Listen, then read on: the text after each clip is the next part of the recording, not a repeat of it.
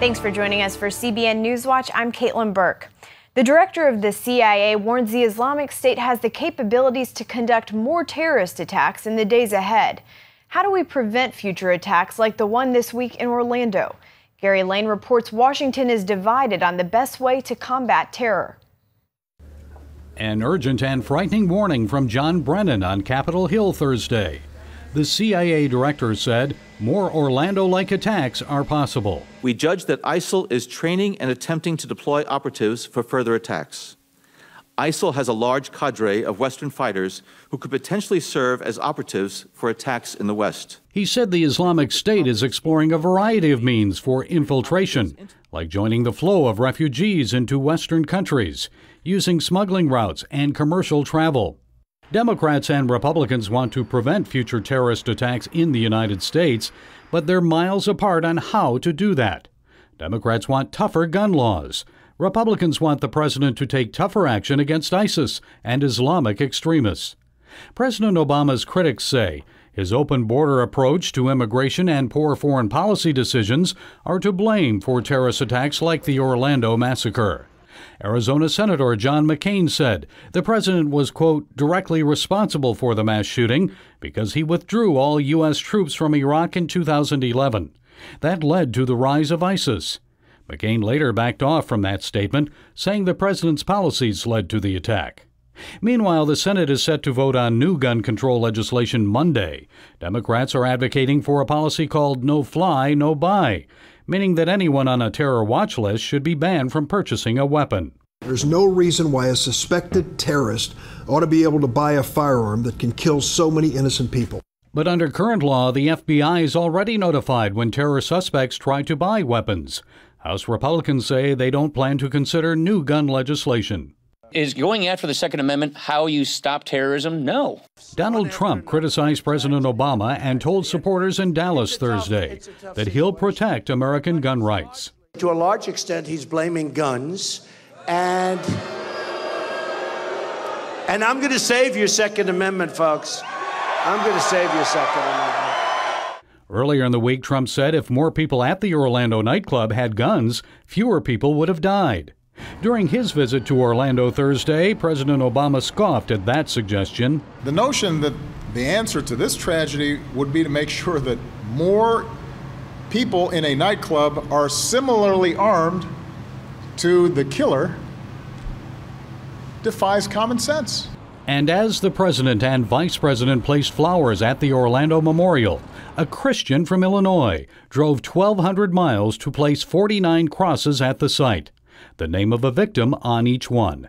My message today is love your brother, Amen. love your neighbor. Thank you. Don't judge him. Just offering hope in a very hopeless situation. Gary Lane, CBN News. A UN investigative panel is asking more countries to step in and stop what they're calling genocide by the Islamic State. ISIS is targeting the Yazidi community in Iraq and Syria, committing crimes such as beatings, rape, and torture. That's according to the BBC. Although the findings are not new, the Council of Inquiry on Syria released its first report specifically looking at the Islamic State's crimes against the Yazidis. The 41 page report says ISIS still holds over 3,200 Yazidi women and children. Slave markets in Syria are selling Yazidi women and girls exclusively to ISIS fighters. And they've even begun selling these women and children online. More than 50 diplomats from across the State Department are calling for a new U.S. policy on Syria, including more direct action against Syrian dictator Bashar Assad. The officials have all signed an in internal document advocating for U.S. military action to pressure Assad into accepting a ceasefire and engaging in peace talks. One of the officials responsible for the document said it was written in response to five years of failed policy, saying Assad has not faced consequences for his actions. A British lawmaker is dead after she was gunned down Thursday outside a library in England. Jo Cox was brutally attacked in the street Thursday afternoon. The police arrested a 52 year old man at the scene, and he's currently under investigation. It's unclear if Cox was deliberately targeted or if there was another motive. The attack comes just one week before a referendum vote on whether Britain should leave the European Union. Both sides have halted campaigns out of respect. America's second largest religious group wants its members to welcome refugees. At its annual meeting this week, the Southern Baptist Convention approved a resolution on the resettlement of refugees in the United States. The resolution said Scripture calls for and expects God's people to minister to the sojourner. We encourage Southern Baptist churches and families to welcome and adopt refugees into their churches and homes when they come here uh, to the United States, we don't want to turn our back on them. We want to minister to them. We want to help them. We want to share the gospel of Jesus Christ with them, and we want to uh, advocate for them. The Southern Baptist Convention also voted to condemn the Confederate battle flag. SBC representatives encouraged those who still fly the flag to stop as a way to promote racial harmony. Cross told CBN News the church in general gives an answer to racial issues that America doesn't provide. We are unified in Christ across races, across socioeconomic uh, groups. As America divides and, and uh, uh, fights over these issues, the church can have a unified voice to say there is peace in Jesus, there's uh, sacrificial love in Christ. The Southern Baptist Convention also voted to stand against boycotts of Israel, urged members to exercise their right to vote, and voted to oppose women being eligible for the U.S. military draft. North Korea may have doubled its number of nuclear weapons in just the last year and a half. That's according to a report from the Institute for Science and International Security in Washington. The London Daily Mirror reports the group estimates that Kim Jong un could have added six or more weapons by expanding his country's nuclear production. North Korea promised in 2013 to start up all of its nuclear facilities again and said last month that it will build up its nuclear weapons capability. President Obama maintain, maintains that no challenge poses a greater threat to future generations than climate change. But others warn the U.S. faces far more serious threats, including an attack that could result in the death of millions. Dale Hurd has more. Imagine one day your electricity suddenly goes out, gadgets stop working, and cars come to a standstill on the roads? And what if the power grid remained dark for months or even years, resulting in millions of deaths across America? That's a nightmare scenario many experts worry could become a reality if an electromagnetic pulse bomb, or EMP, detonated a hundred miles or so above the Earth, right over North America. Uh, that's where you would basically wipe out our electric grid and any instruments that use uh, computer chips. You think of uh, people that have uh, heart devices for their hearts, or you think about gas pumps, and you think about all electronic uh, transfers. You think about the air, aircraft that are flying. The uh, banks uh, would be closed down. The electronic transfer of well, money you wouldn't would be able to get food out of the grocery store. You wouldn't be able to uh, use your credit card. Who could attack us that way? In February, North Korea announced it launched a weather satellite, a move the United States and other nations quickly condemned, as an attempt to further develop long range missile capability. Some speculate that North Korea already possesses weapons designed to emit high levels of electronic frying gamma rays, rather than create a big explosion hate to, to just, you know, this gloom and doom, but it is terrifying because they have the means now. They've, they've been launching the intercontinental ballistic missiles. They can certainly do it. I'm a space architect. I work with NASA and, and the aerospace programs, and you have now a country, a rogue country like North Korea, working very closely with Iran, by the way, and, and mm-hmm. Iran now has also the ICBM capability to do the same. Despite what some see as a real and present danger, the Obama administration appears indifferent to the threat, focusing instead on what it deems the biggest problem we face man made climate change. Dale Hurd, CBN News. Coming up, a unique Father's Day gift you probably haven't thought of. We'll explain what it does on today's digital download after this. Father's Day is this Sunday, and you might still be looking for a unique gift. Instead of getting dad another tie, how about a tech gift that will get him out of the house and under the hood of his car? Today on Digital Download, Caleb Kinchlow has three must have gifts for techie and not so techie fathers. What do you get the man who has everything? How about something to help him save money on his car?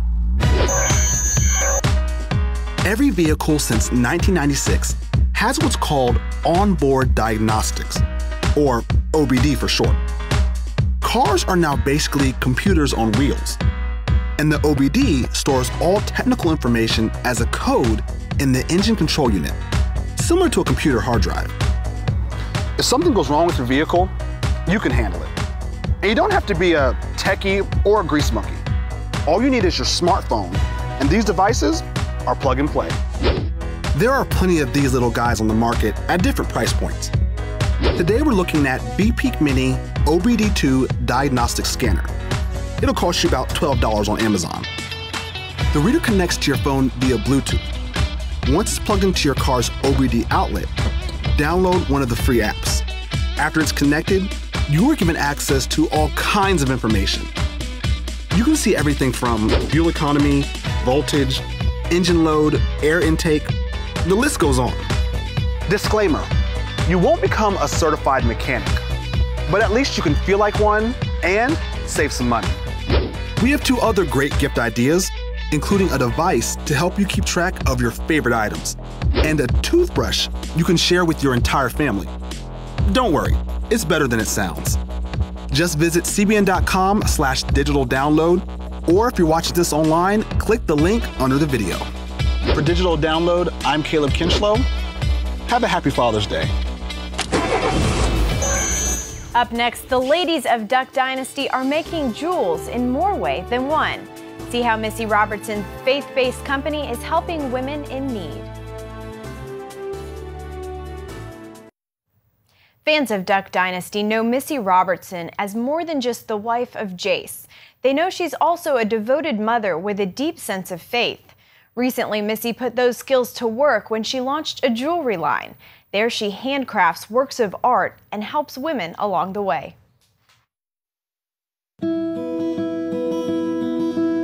This is not something that I ever saw coming down the pipe at all. But it's something that God took and said, you know what? I'm going to make this larger and broader and more encompassing than you ever dreamed. For over a year, Missy Robertson and her friend Kelly Block entertained the idea of starting their own jewelry line that would be inspired by the outdoors. Kelly and I, when we started this, it was basically for what I thought would be women like me, long before Duck Dynasty, when I needed to go to work every day and to help my family with income. But God has different plans. The two are still brainstorming ideas when Kelly went to a Bible study, a Celebrate Recovery group led by Kay Robertson, Missy's mother in law. All these women that would come together for this Bible study, they would always be talking about, God, just you know, I'm cleaning this person's house, and does anybody know of a job I can do? I'll do anything.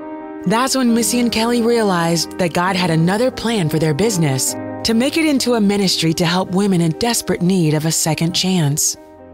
We wanted to give women in our community a new purpose. And these women come from all walks of life. The ones who just cannot find a job because they've been incarcerated they could be coming out of homelessness. We also have some who were rescued out of the sex trafficking industry right here in our town.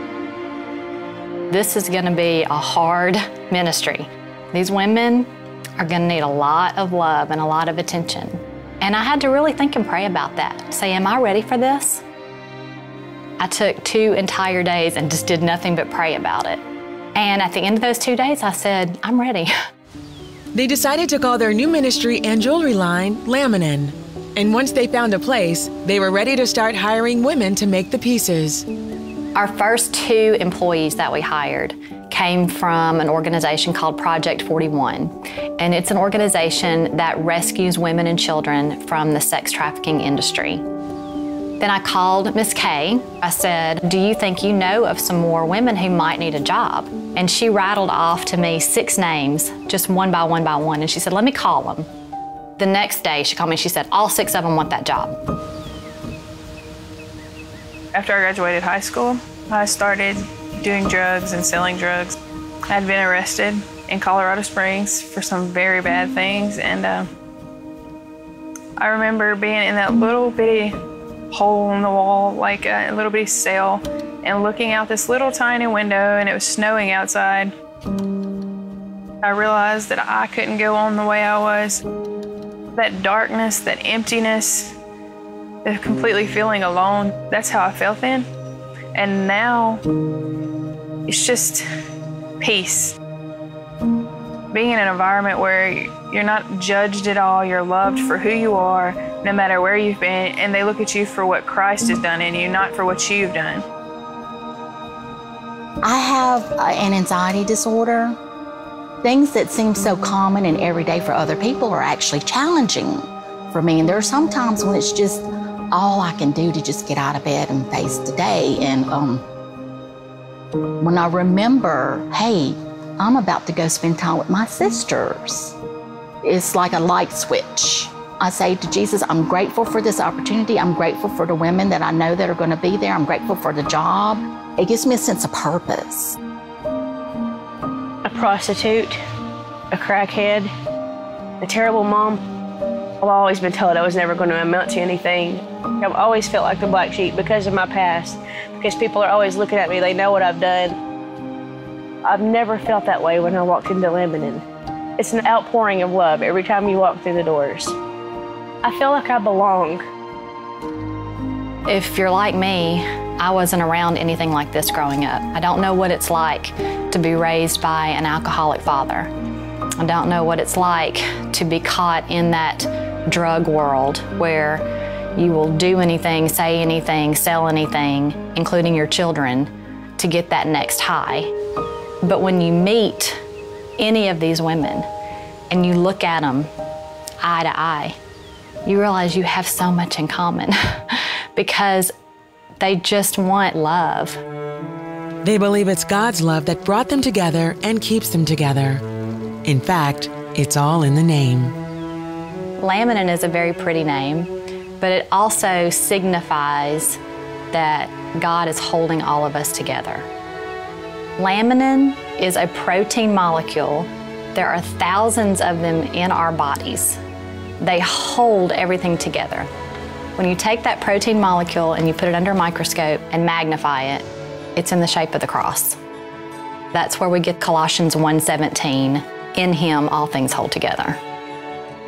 I feel like God is the molecule that holds our love together. He is the center of everything that we're doing.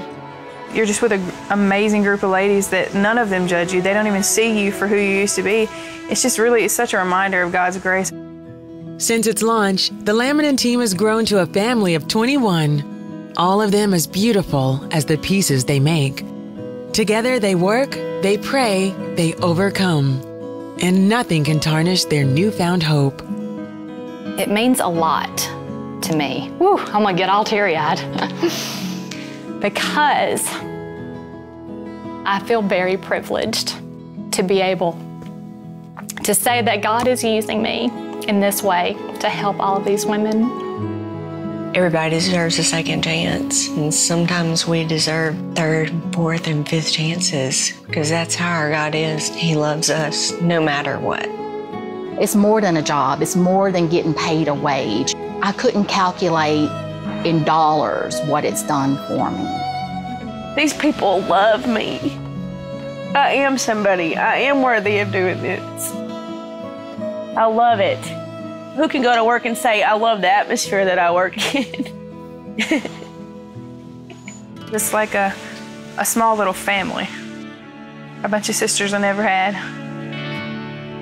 To see the progress that they've made and them laughing with each other and hugging and crying and just being normal, you know, normal girls together. I sometimes just look back in awe that I can't believe this is happening. Who could have brought all of these different women together? Only God. It's time now to turn to our friends at Focus on the Family's Entertainment Review Department. They're bringing us a review of the new film, Finding Dory.